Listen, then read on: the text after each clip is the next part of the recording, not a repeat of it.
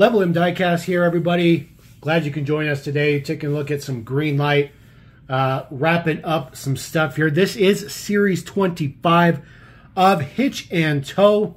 Uh, this is a uh, pretty nice set. Obviously, we we are a little bit biased here, Level M. We do like Mopar stuff.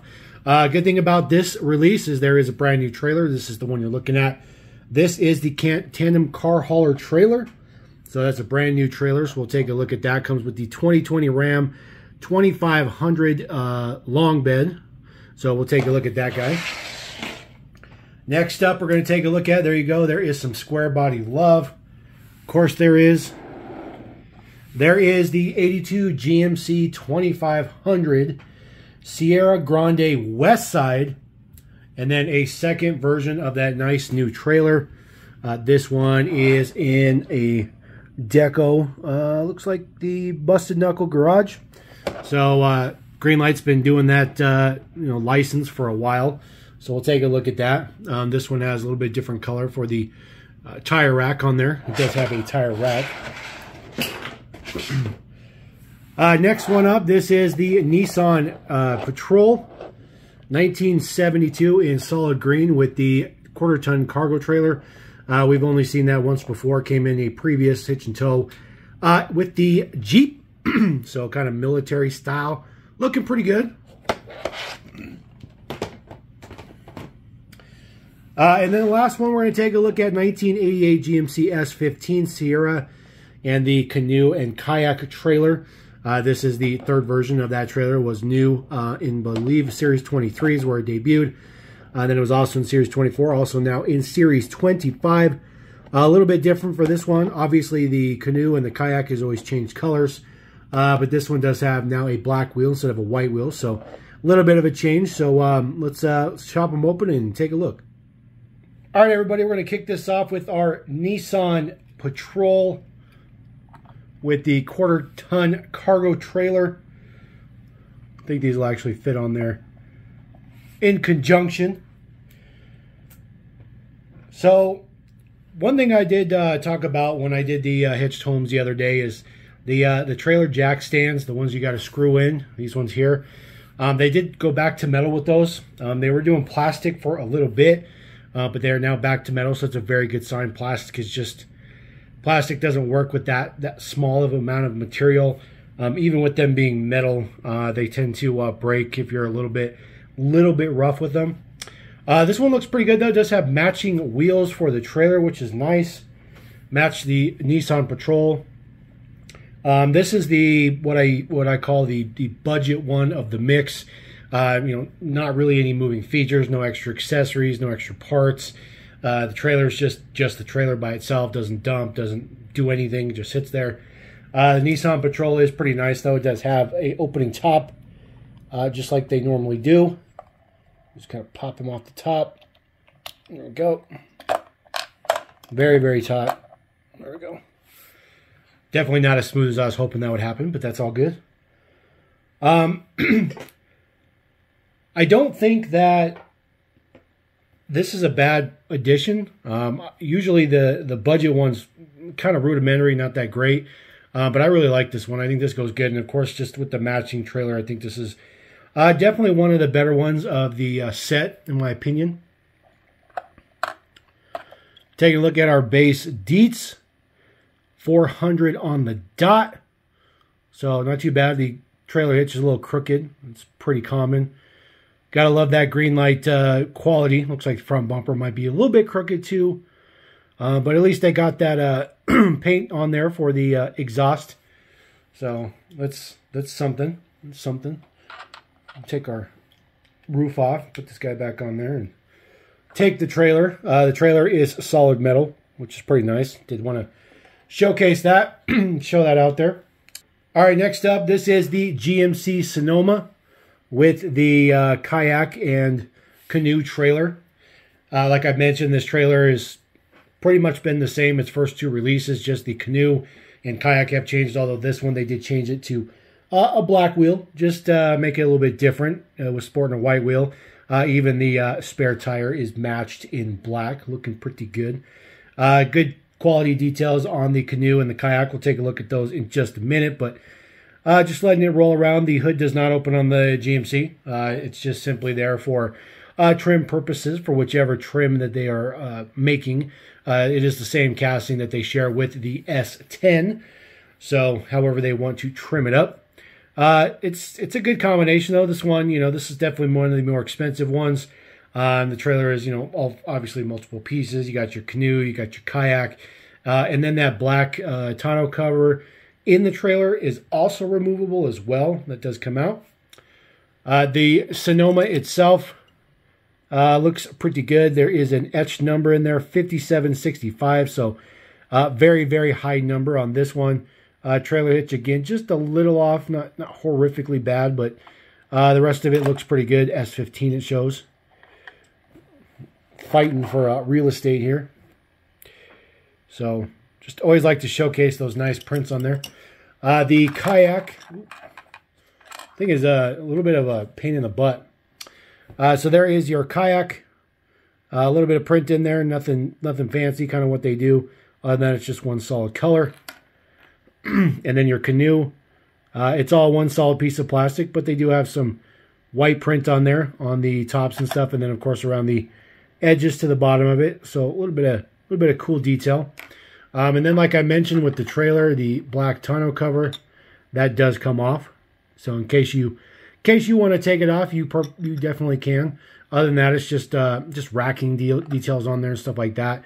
Uh, they do not do numbers or anything for the trailers, just for the truck itself. So we'll move this guy off to the side.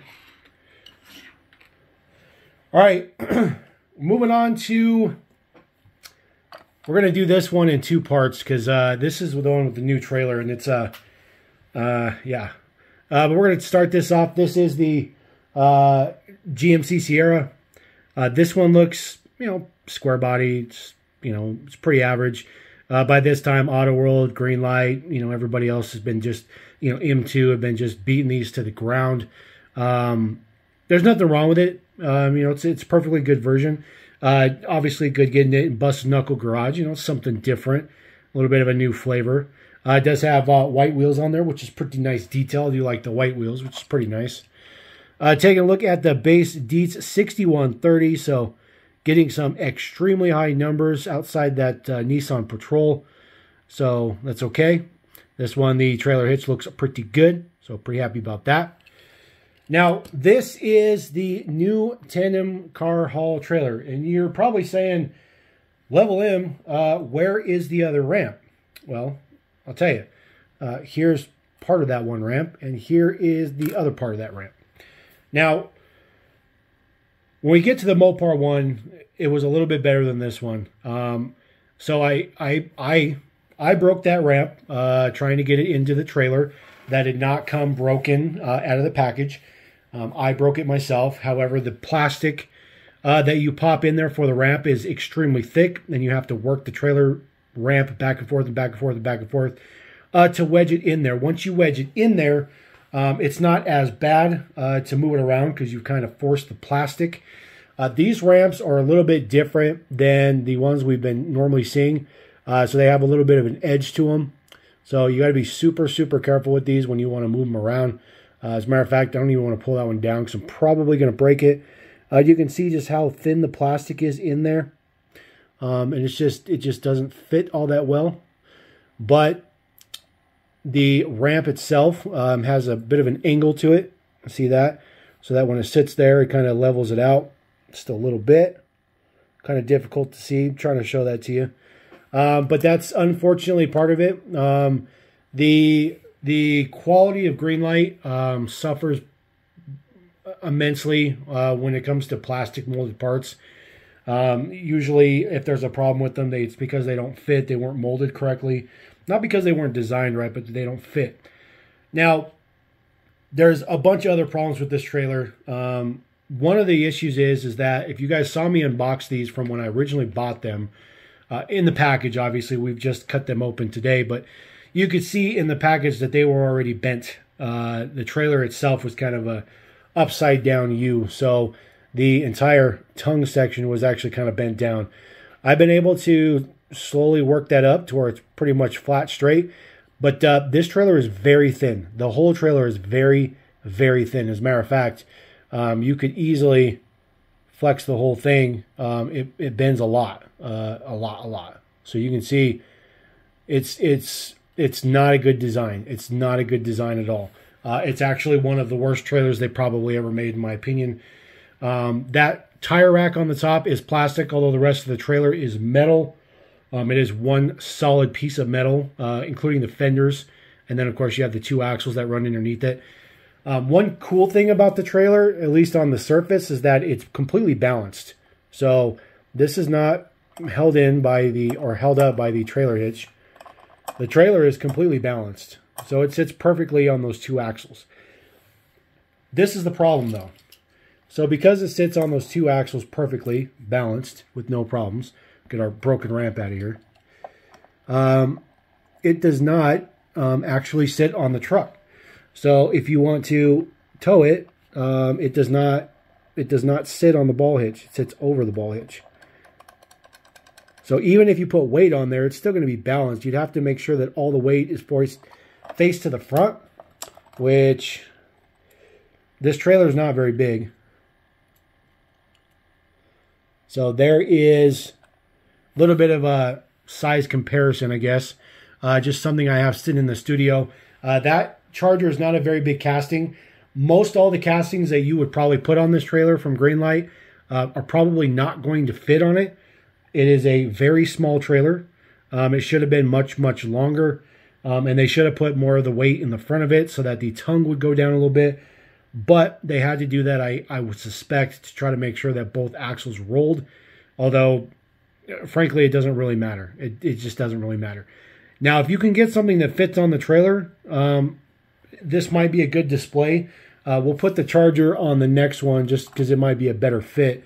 Uh, but uh, I'm telling you right now, these trailers are absolute garbage. Uh, one cool, cool thing about them, though, is they do have the lensed taillights on them on the fenders, which is pretty nice. Um, so that's a pretty cool detail. But other than that, um, these uh, trailers are just trash. They're absolutely trash. All right, moving on to the next one. This one is definitely not going to fit on there at one time because it's the biggest one. Uh, this is the Ram 2500 in old school Mopar Deco. This one, obviously a little bit biased here. We like this a lot. Looks pretty good. Um, I will be the first to admit um, the the new rollout for the Rams from Greenlight has been an absolute disaster in my opinion. Um, here at Level M, pretty much every single one we've received has had some type of quality error with it, whether it be the mirrors or a fitment of parts or bent axles or paint problems or something. Um, every single one of the Rams has got something wrong with it. Some of them more significant than others. Um, but you can see on this one, the rear window is not set in there. So the window pops out um, and you cannot set it back in there. Um, it is designed to be set in there from the casting being apart. So there's nothing we can do about that, which is unfortunate. Um, the other thing too is one of the uh, um, um, you can see here the uh, misalignment on the uh, step board. Sorry, couldn't think of the word. The running boards. There we go. Uh, is misaligned, so that's unfortunate as well.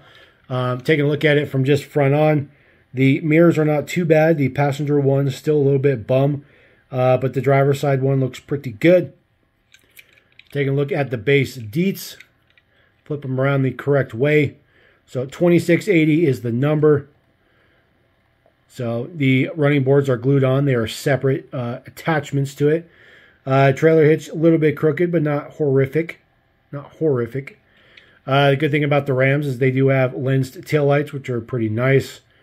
Again, no plate details. It's kind of what Greenlight's doing nowadays. No plate details. So other than that, that looks pretty good. Now the Ram sits a lot higher, so the trailer is not as big of an issue. This one I was able to get the ramps in there without breaking one of them. Um, so that was a that was a feat that I'll take as a win. Um, I think that this trailer is just is is trash though. The design of the trailer is trash. This one looks good. Mopar Deco. This one has chrome wheels versus the bust knuckle that had white wheels. Uh, this one has color matched tire rack on it, which makes it look a lot better. Um, not so kind of out there. Uh, it looks a lot less plasticky, I guess is how you can put it. Um, as far as the uh, look of it, having like an actual Mopar on there with the ramps up. So there you go. It's kind of the look. Um, it's pretty much touching on the hood, uh, but it barely fits that Charger in there. I mean, barely. And that Charger is not a big casting. That's very, very small compared to almost every other Greenlight casting. I'm not really sure what they expect you to put on here. Uh, you might be able to do like a Cuda or a Challenger, uh, but you're definitely not going to be able to put a Charger or a Roadrunner. Definitely won't be able to put the uh, Belvedere on there. You can't put the uh, Fury on there. Uh, none of those are going to fit. You might be able to get the Diplomat on there potentially, um, you know, as far as Mopars go. But realistically, this trailer is probably better sized for like their uh, Tokyo Torque stuff, the Skyline, the Datsuns, the 240s. You know, those things are going to fit on this trailer great, but uh, we don't have a you know Nissan or Datsun version of those yet. So we'll see how, how we'll have to see how those come out and uh, see if they're going to do those. But yeah, you can't even get it out of there. It sits right in there. So there you go. That is hitched. Uh, Hitch and Tow Series 25. Um, probably one of the worst releases because of this trailer. This trailer is just terrible. It's absolutely terrible. I'm very disappointed. You guys know I, I really don't do this kind of stuff on the channel. I really don't rag on things like that. But this trailer is absolutely just terrible. The quality is terrible. The design is terrible. The execution is terrible. Um, I'm, I'm really disappointed. I was really looking forward to a new trailer, but unfortunately, that's what we got. So, anyways, there you go. That is and Tow 25. Let me know your thoughts on that. Um, definitely, definitely not uh, happy with those here at Level M, but definitely interested to hear what you have to say about that. And uh, drop a comment. We'll check it out, and uh, we'll definitely reply to it. So until then, appreciate you guys. Thank you very much. Level M Cast. Peace.